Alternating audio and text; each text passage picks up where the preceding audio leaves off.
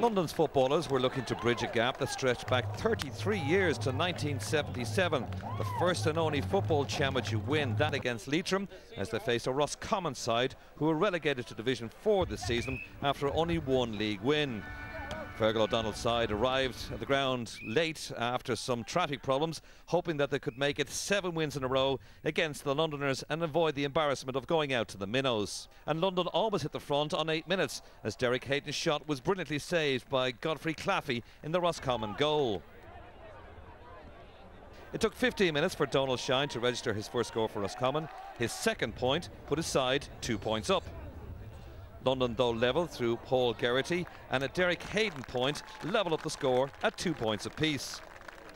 But Roscommon scored six without reply before half-time, and Shine's free kick made it six for him, and it meant an eight points to two half-time lead for Roscommon.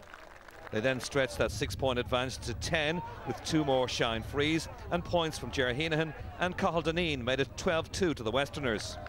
London missed a great goal-scoring opportunity when Hayden's 58th minute penalty struck the butt of a post, with Claffey beaten in the Roscommon goal. London did, however, get some late consolation points from the likes of Owen O'Neill, Niall Egan and Seanie McVie, but they proved to be mere consolation. Shine, a member of the 2006 Roscommon All-Ireland minor winning side, put over the final score, his ninth of the contest, to ensure victory for his side. And they now play Leitrim in the Connacht football semi-final on the 20th of June. It finished Roscommon 14 points, London 6 in Ruislip. Well, the, scoreline probably flatters a little bit. One uh, 14 points to 6. Um, second half performance, very poor. London were by far the dominant team you know, we were cleaned out of midfield in the second half and all around that sector. Now they brought a man drop back, but um, listen, I was very happy at half time. How we worked hard, but second half was very disappointing. You, of course, now play for both sides as well. Um, do you think maybe London's play is a little bit naive to be beating teams like Roscommon? Yeah, probably that, especially in the first half, giving away silly, silly frees. Sometimes when, when, when um, you know, players in corners, when we should have probably stood off a bit more, just probably a bit green and, as you say, a bit naive and we gave away the frees. And with, with a free taker like Donie Shine, you don't, you can't afford to do that. No, you certainly can't. Uh, we shouldn't let the weekend pass, by the way, without crediting the London hurlers who had maybe the result of the weekend when they beat uh, Derry yesterday. A great result for them. But reflections on this one now. Roscommon in a in a Connacht semi-final now well, against Leitrim. against Leitrim on the 20th, and it's a big difference to the Ulster Championship. You you play you play London and Leitrim and you're into the provincial final. You know, it's a big difference to up north, right? You know, but look for Roscommon, it's progress for them. It's another game for them going going forward. Donie Shine got, uh, what is it, nine points today. So look, yeah. it's all progress for them. At least they're winning games and they can introduce some of the younger players. No slight intended on Leitrim there when you said you've only to play London or Leitrim. Now, speaking of the Connacht Championship, Tony, next yeah. week, some great games. We have Sligo Mayo. Who's going to win that one?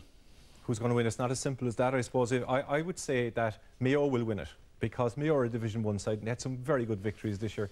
They, they beat Kerry, Derry, Tyrone in mm. the league. If Mayo had beaten Cork in the, in the league final, I think they would have been more vulnerable. Right. But Sligo are a really good team. They're one of the most exciting teams around. I love watching Sligo playing football. And in, in Breheny and Cohen and O'Hara and those lads, lads in the forward, they have forwards that can take their scores. So I'm looking forward to a really good, entertaining game in Markievicz Park. But I think Mayo okay. will have more, more, than, more than to beat them. All right. And the other game next Saturday evening is in Leinster, Kildare and Louth. Yeah, Louth have had the benefit, obviously, of a competitive outing. Championship won over Longford, so yeah. stand them in, in good stead. Kildare coming off the back of an ordin ordinary enough league campaign. They seem to have put their whole stake on this year's yeah. championship. Quarter finalists the last two seasons. They'll be looking. The Leinster title for me has to, has to be their goal. Question is, are they made of the right stuff to win a Leinster title? And that's what we'll find out starting next Saturday. Wicklow Westmeath play on Sunday.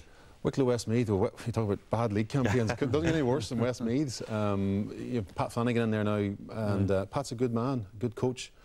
Uh, Dennis Glennon and um, Desi Dolan back yeah. in the fray, uh, but I think you still have to fancy Wicklow there. I don't think Pat has had enough time to, to, to get them okay. going right, so I fancy Wicklow.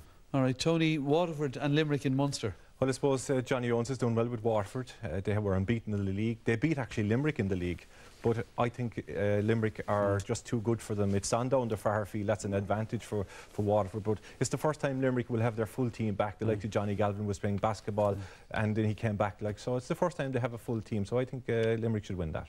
Okay, and Monaghan Armagh, a juicy one in Ulster. It is, Anthony. yeah. Um, Armagh again, competitive game under their belt, but if there's any team in Ulster deserves to win an Ulster title, it's Monaghan.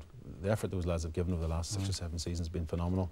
Um, you wonder, is this going to be their year? That, you know, Armagh or Tyrone are not as good as they were.